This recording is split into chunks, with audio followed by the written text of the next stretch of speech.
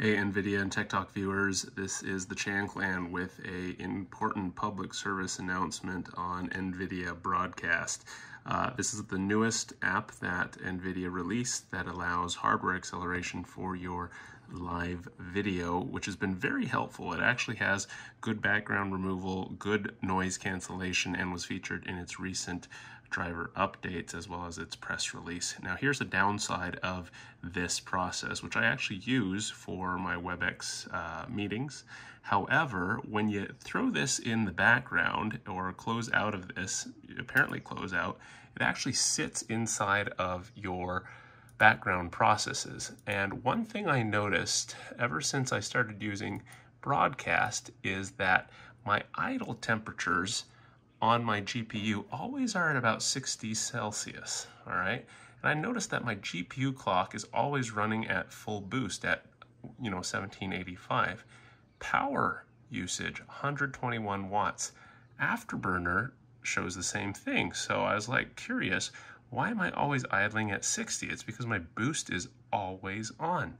Now, if you look at our utilization on the desktop, really nothing, there's no games going on, and uh, you know I have, I have no processes apparently running. And this is how my desktop's been sitting at nighttime as I do backups overnight. And uh, it just bewildered me why I, I, do get some fan noise and the, the GPU is spinning. Now, if you look at our GPU utilization here, minimal utilization, but the only thing is NVIDIA Broadcast.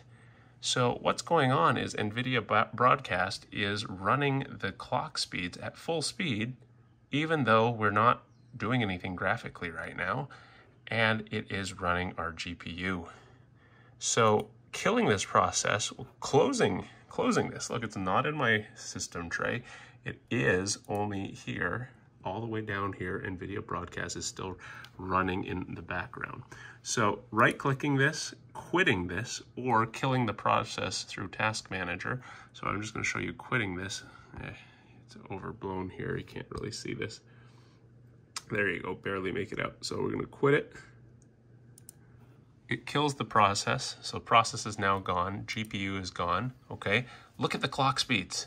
Clock speeds drop down to 210 and instantly my GPU temperature is coming down because the GPU clock went down to 210. GPU power is now 39 watts, and then within a couple of minutes, we're going to recover down to the 40s here.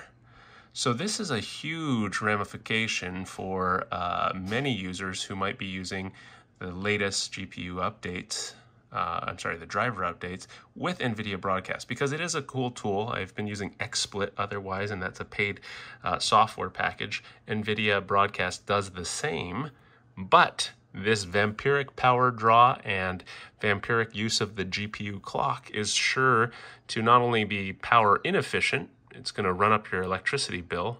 I mean, I wouldn't be surprised if somebody built a Bitcoin miner into into the uh, NVIDIA Broadcast app.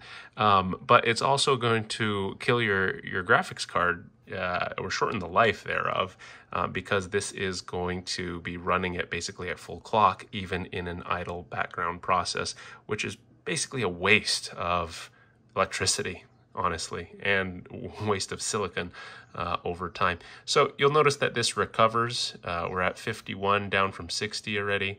Uh, and I think uh, the thermal curve here actually, when it drops down to four, about 45, the fan speeds will actually turn off. So if you are wondering why your GPU, especially your new 30 series, is humming around at nighttime or uh, running hot and your case is just blowing off hot air, uh, check if NVIDIA Broadcast is your culprit here because NVIDIA Broadcast may be the reason why you are noticing these uh, clock speeds always revved up to the full boost and uh, that you're giving off more heat. So we're recovering down to about 40 now. And again, I think my idle temperature is going to hit about 45, which is the, the target spec here. And once it gets down to about 45, the fans will actually uh, drop down to zero, uh, which is the uh, silent mode of the Gaming X Trio, which we have uh, that we unboxed. So I think this is a huge potential uh, for an update by NVIDIA. It's a simple software fixed. If there's no active client using NVIDIA Broadcast, throttle down the GPU, save our GPUs, uh, save our electricity bills, uh, save our, uh, our heater. Uh, this reminds me of Bitcoin mining back in the day where, you know, we ran uh, our GPUs at full clock, full speed, 24 7. And there was a notable difference in the temperature in the room in the morning just because, uh, you know, of all the heat that was generated here. So again, um, this is just taking some time to recover, but you'll see that we are approaching that 45 spec and at about 45 degrees the fans should turn off to the silent mode. So let's see if that happens here. Just like, you know, our, our um, video card is designed for here. So still winding down. And as a final demonstration here, just to prove the point, I'm going to relaunch broadcast. Not even to open up a web client or a web app to uh, run the video card. Okay, we've hit 45. Uh, 46. Our fans are still still running slowly, but certainly not as as high as before. But anyways, this is the target temperature that we want to get to idle. It should be in the 40 to 50 range. Okay. Um, again, let's pull up broadcast. So we're going to just launch broadcast right there, NVIDIA broadcast. Instantly, 1785, full core, uh, full clock speeds. Okay. Haven't been running this thing. This is just in the background tray. I'm even going to exit out. Maintaining full clock speeds here. Okay. GPU utilization. And we are starting to climb our our temperature curve again. So, more of the story is if you're using NVIDIA Broadcast, which is a nice uh, iteration of new tools that NVIDIA has released to us, please be sure when you're not using your camera to kill the process, go to Task Manager, End Task, or just go to your system tray uh, and then right click on the app icon and quit it. Because only when you quit it do your fan speeds right here drop back down to an idle process. So, uh, well, actually, I just tried to kill it and it didn't.